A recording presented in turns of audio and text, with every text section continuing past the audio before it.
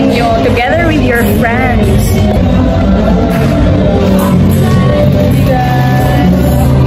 But wala tayo token. You have to buy token para ma-access mo ning mga games di Ari.